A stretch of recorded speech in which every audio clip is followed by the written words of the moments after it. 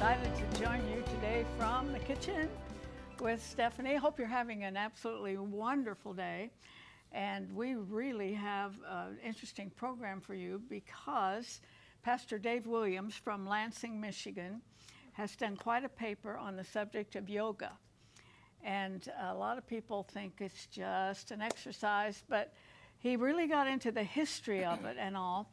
And so listen with an open mind, okay? Uh, so glad to have him back. He's one of my favorite guests of all time. And this is my favorite sidekick right here.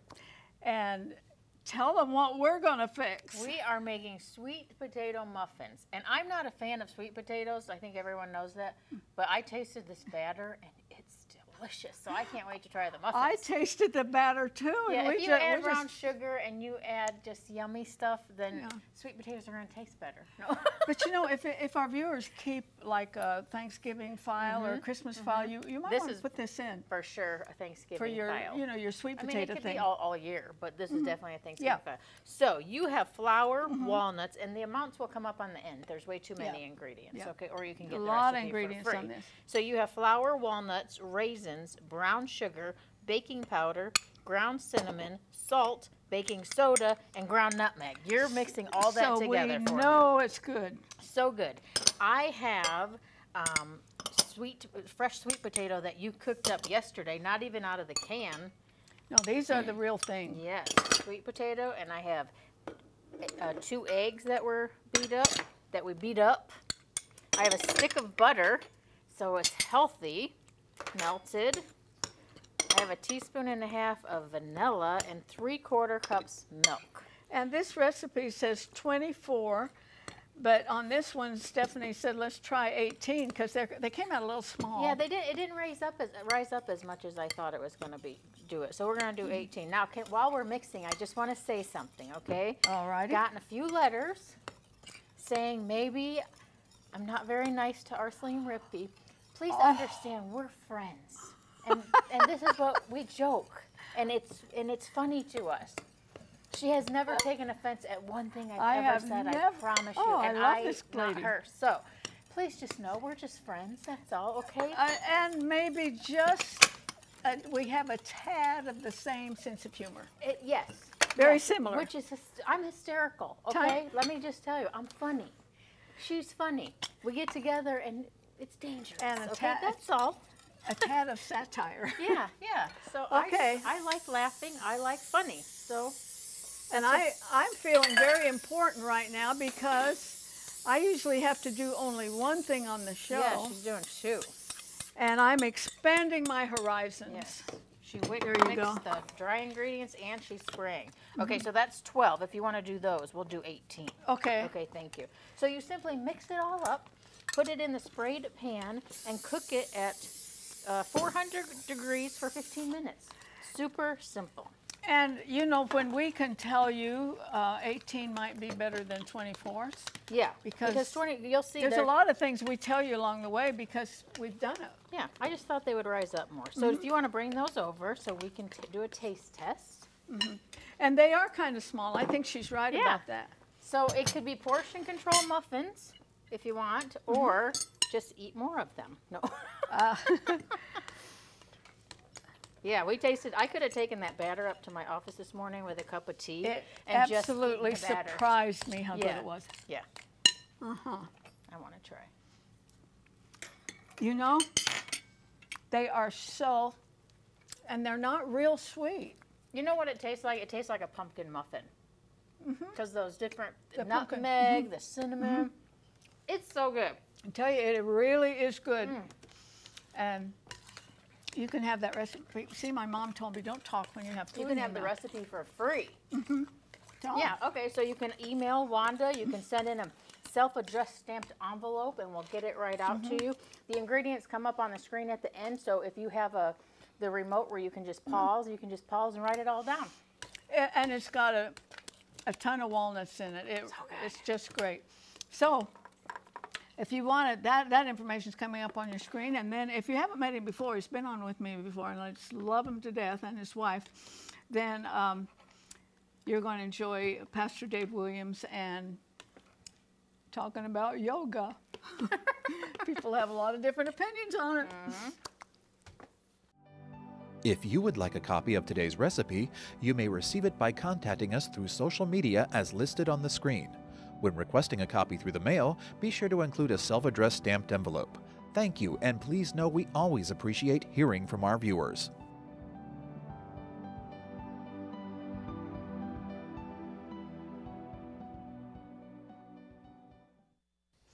Welcome back to Homekeepers. Thank Pastor you, Dave Arthelene. Williams. Great we go to be way back with back, you. don't we? We do go way, way back. We served on a board together. You helped us dedicate Gilead Healing Center in Lansing, Michigan, and you were such a blessing to our people. My first uh, impression of Mount Hope is just right there because when you drove this kind of a long driveway, if I remember right, to the church building lined with flags of different countries that you supported. You great missionary ch- church, wasn't it? Yes. It is still. And, and that's why we had the flags to keep people reminded Yes. of our purpose evangelism. Well, I bring a lot of missionaries on this show because I want my viewers to know what's going on around the world. And there's a lot of good things going on around the world in the message of the kingdom. Amen. And one of the greatest things is the revival in Iran. Yes, I, I see that on the internet, and uh, Jesus said this gospel will be preached to all nations. To all nations. Yeah. And uh, there's great revivals going on, more so really than in the United States. But some of the things we're going through right now might provoke a revival. Do you know what I mean? Well, that's our prayer, isn't it? You Yeah. know, there's always a spiritual, an attitudinal, and a practical side of everything. And uh, we can do all the practical things. But if our attitude is wrong Yeah. and we're not handling the spiritual things, uh, we, we're not nearly as effective. Now, Dave Williams has done a big paper on yoga. And I, I'll be honest with you, I'm an exerciser. I, I never have gotten into yoga, but um, my normal outlook probably would be well, it's just exercise. So what? But when I was in Bible college, a missionary, David Costin, I don't know if you remember him. I remember him in that class telling the evils of yoga. His father was a missionary in India, right? Yes. Yes, I, I have him in my new book. Oh, really? Yes. Excuse us while we kind of catch up here. Yeah. but I will never, he taught at CBC then. Yes. And uh, I, I'll never forget, it just gave me this big question mark about, so uh, what got you interested in yoga? Because I can't really see you doing those kind of exercises. Well, when you say what got you interested in yoga, it sounds like I'm a yogi. yeah, yeah but right. You know, Mary Jo and I were uh, spending time in Florida. We love to walk. We walk around the island, and we saw a yoga studio here, yoga ad there, another yoga ad there, and then we walked by a church, and the church was advertising yoga lessons. And I thought, well, isn't that something? A church having yoga lessons. Well, it sort of piqued our interest, and I was preaching in Michigan Good Friday, so I flew back to Michigan just for two days. I saw a guy I recognized, but didn't see his wife, who was in the worship ministry. I said, Hey, where's your wife? I didn't see her. And he said, Oh, she's up learning how to be a Christian yoga teacher. Mm. And my first thought, honestly, Arthelene, was this oh, maybe we're going to be reaching the new age people. Maybe this is a, a Yeah. tool that God will use. And so I started, stu- but I, I always had a funny feeling about it. And uh, your viewers watching, if they have somebody that is doing yoga, I do yoga, you know, uh, you might have had a funny feeling about it. That's important to listen to because that is discernment from the Lord. And so I started studying on yoga. The last 24 months, I began to study about yoga, Christian yoga, holy yoga, Yahweh yoga, Jesus yoga, hot yoga, uh, goat yoga. I've interviewed those who were once yoga teachers that came to Jesus Christ and immediately began renouncing yoga. And I ended up with a writing a book called Yoga Craze in the Last Days mm-hmm. Why Are So Many Trading Their God Given Destiny for a Counterfeit? And I've got 380 references in that book to show people my discovery on the roots of yoga and what yoga really is. Well, the roots are absolutely demonic. Yes, people think it's a I, human. I knew that. yeah, you can. Yeah, you know that. But Uh, the exercise, I set that aside. Yeah, most people do, and that's what I did too. I thought it was mostly stretching exercises for women, and I thought it's good if you don't do the Hindu meditations Yeah. and the uh, the the breathing, you know, all the things they do, and meditations. And uh, but I was wrong. Uh, The the poses, Dr. Laura Willis, 22 years in the New Age and a yoga teacher, when she came to Jesus Christ, she began to tell people that yoga poses are poses to demonic gods. Paul says they're demons, they're not mm-hmm. gods, little g, they are little g gods. Mm-hmm. And the th- three main gods in yoga, uh, Shiva, Vishnu, and Brahma, they call it a triumvirate, a triumvirate of gods. It's a counterfeit to the Trinity. Whoa. And the the the uh, article you read about the Kundalini spirit entering our American churches, it's not just denominational churches, but evangelical churches, charismatic churches, Pentecostal churches. And what is that? The Kundalini, spirit, well, that's that is uh, many apologists and discerners call the Kundalini spirit the counterfeit Holy Spirit, because when people are doing their their yoga poses, especially in the Christian yoga brands, they believe they're having an encounter with God. In fact, the Christian yoga teachers say you can connect with God through yoga, that yoga is a spiritual discipline just like prayer, meditation, and fasting. Well, it's spiritual, all right, but spiritual doesn't mean biblical. Yeah, spiritual I mean, can mean a lot of things. demons are spiritual. Yeah. So the Kundalini spirit is the counterfeit Holy Spirit. It, it gets a hook in people. And it's very real. It I, is I remember that professor, when he talked about that, was that uh, people who would go and they get in these poses and things, there, there would be something going on, a high or something. Now, you said something here that makes a lot of sense, and that is you wouldn't talk about a Christian Ouija, uh, Ouija board or Christian astrology. But we make this with the very roots that are absolutely demonic. We try to put a Christian brand on that. How can you amalgamate, mix two different worldviews, two different religious views, and combine them into a religious practice? It's impossible. And I've read the Christian teachers, I read their books, I watched their videos, mm-hmm. and they have a syncretistic theology where they take this ancient practice that goes way back before Hinduism. In fact, if you looked at the Canaanite religion, it looked almost identical to the Hindu religion today when God told his people, mm-hmm. do not practice mm-hmm. those things that the people practice in the nations I'm giving you. And every time they did, destruction came.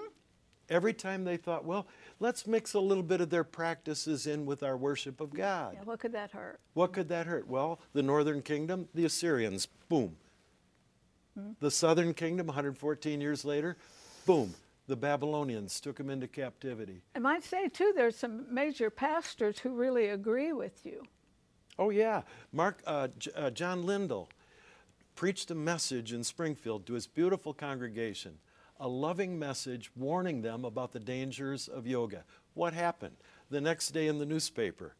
he's ignorant. He's uh, divisive. He, you know, all all these Mm-hmm. peace-loving people begin calling him names because it has been ingrained. Yeah. Mm-hmm. People almost think it's a good exercise.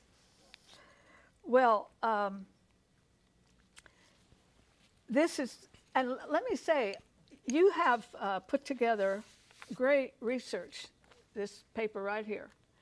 And you can have this. We're going to put a specific website up uh, that you can go to that uh, page and you can have this for free, right? Just Absolutely download free. it. I wrote it especially for pastors, parents, teachers, leaders, and your viewers. Mm-hmm. And they can download it absolutely free. It's what I call the position paper on yoga, and there's a lot of scriptures in there. A lot of them. When I got this, I was I was really really impressed with all the work you had done on it. Congratulations!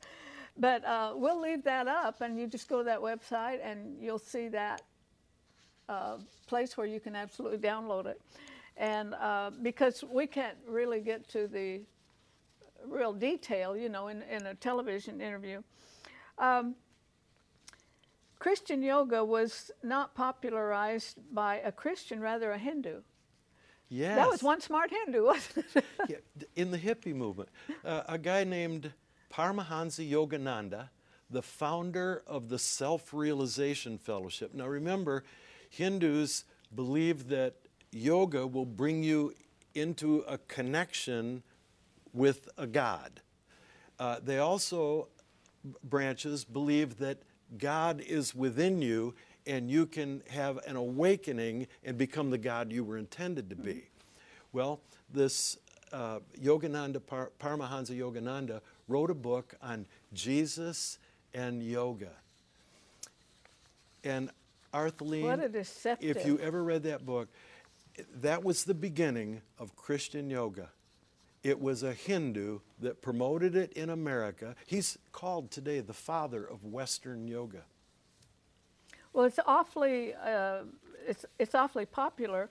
Um, what about people who say there's no spiritual difference between Hindu yoga and Christian yoga?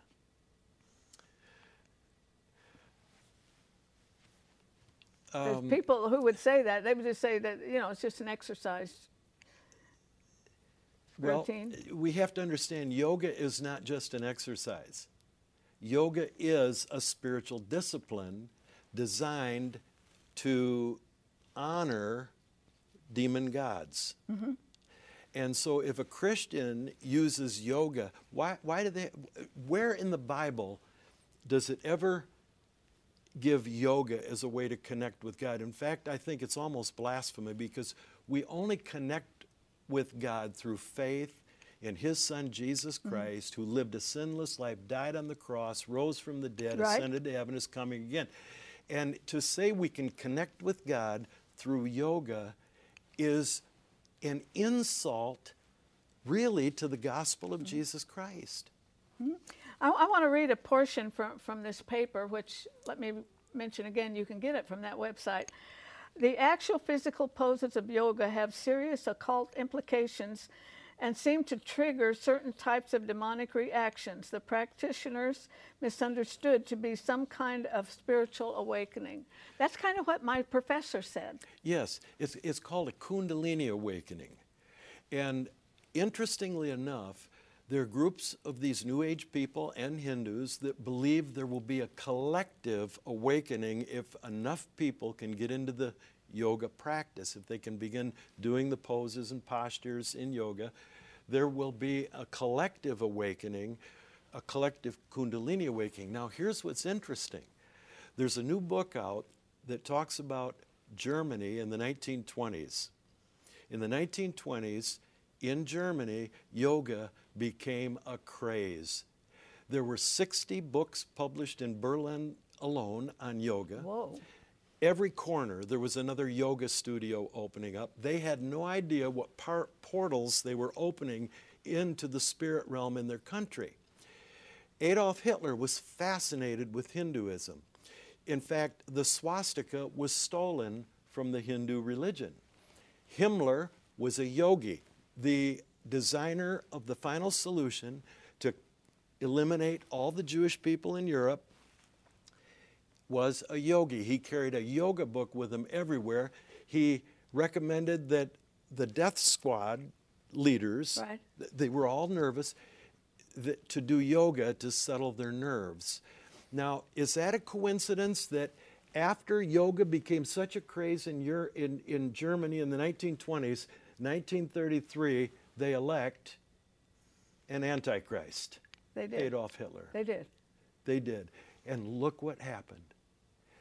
I believe, and this is just my belief, that Germany had a collective Kundalini awakening, which always leads to delusion. Mm-hmm. First, deception. Yoga is a deception. Then you stick with it, you go into delusion, and you'll notice the people, even in Christian yoga, their culture changes. Something changes about them. And then d- d- deception, delusion, and then destruction. Think it's any accident then that America is inundated with yoga? You know, Not a good sign. I don't want to be a conspiracy theorist at all. No, and I he's not. I Uh, know no. I'm not. But uh, Satan is Satan. He is the deceiver, the accuser, and the tempter. Uh, he's tempting people to do things that are off limits. Mm-hmm. And he actually, you know, this Christian yoga, people think they're worshiping Jesus, but Paul talked to the Corinthians who thought they were worshiping Jesus, thought they were hearing from the Holy Mm-hmm. Spirit, and he said, It's another Jesus. And you see people wearing these shirts Jesus is my guru. Uh, But Ooh, that gives me chills. well, if he's if he's if he's a guru, he's not the Jesus not of the Bible. right. And some of them, Arthelene, are even saying that Jesus, when he was 18 years old, went to India, learned to do yoga from the yoga masters, and came back and secretly taught it to his disciples. Now, does that sound like the Jesus you and I know? No, not at all. And you know what? There's probably a lot of people right now scratching their heads listening to this. But I want to tip the scales for Jesus. I do too. I don't want to try to balance this with this with this. I want to go his way, all the way, in every detail possible. Right. Yeah. And they say it, it, um, yoga is not bad because it predates Hinduism. Well, what makes it any safer if it predated Hinduism? And, and it's true. I read the Yoga Sutras of Patanjali that was adopted as one sixth of the Hindu um, tenets of faith, the tenets of their religion. It was it was uh, translated by a Harvard professor. It was the hardest read I've ever done, but there's no question. Yoga began as a sorcery practice, a sorceric practice. Demon power. Demon power. No question about it. You only have to read the Yoga Sutras, which the Christian teachers teach the eight limbs of yoga by Patanjali. The- the- it's impossible to have such a thing as Christian yoga. No more possible to Doesn't have exist. Christian witches. Right. We are out of time. I hope you got that uh, website where you can get this uh, paper that he. And let me hear from you about this. And I'll send them to him, okay? Stay with me. I have a couple things to say before we have to say goodbye.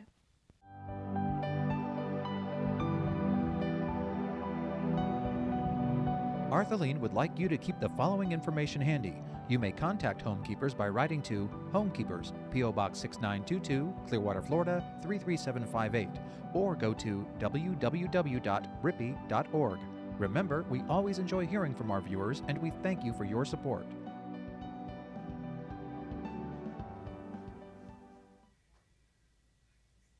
Okay, friend, let me remind you we are viewer supported.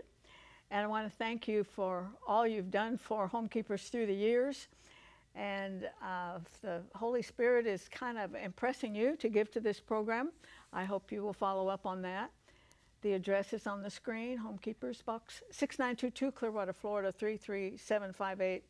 And the phone number 800 229 0059. Well, I think uh, Pastor gave us a lot to think about today, and I'm anxious to hear your feedback on it. I think it's very important that we really make a decision to really follow Jesus all the way, and uh, it will really pay off in great, great dividends. But I was thinking of the problems we are facing right now and things that, uh, for me, a great grandmother, have never really seen in America before. This, this virus is uh, brand new uh, to me, and the way it's affecting the nation, and uh, it, it could it actually could bring the nation down economically, and all that. But um, I think that we need to think about the bigger picture because we're living in the end times, and I think that's one reason things like yoga uh, is really uh, growing by leaps and bounds. We're, we're living in the last days. And anybody that doesn't really believe that probably hasn't look, taken a real good look at the Bible and what it has to say uh, about the end times because perilous times will come, the Bible says.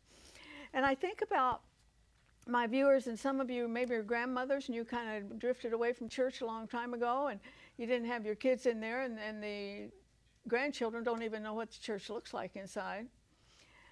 And I think that what we're going through now makes people sit and think a little bit about their life and about eternity and what could happen. And maybe, you know, you went to Sunday school when you were real little and you remember some of those stories and some of those scriptures. And strangely, when we go through dark times, those things come back as reminders. I want to remind you that Jesus never left you. You might have left him, but he never left you. And I, I was thinking of a song by Mosie Lister, and it, I know it goes to the, right to the heart of a lot of people right now. It goes, How long has it been since you talked with the Lord and told him your heart's hidden secrets? How long since you prayed? How long since you stayed on your knees till the light shone through? How long has it been since your mind felt at ease? How long since your heart knew no burden? Can you call him your friend? How long has it been since you knew that he cared for you? There's never been a time when we needed any more that relationship with God because you know what it brings? It brings security. It brings a belief that He's still totally and completely in control. He loves you without limits and He wants you with Him forever. Think about it, my friend. And I hope you will join me next time, remembering there's no higher calling than that of a homekeeper. God bless you. If you should miss a Homekeepers program, you can catch up by going to www.ctnonline.com. Click on CTN Programs and then on Homekeepers.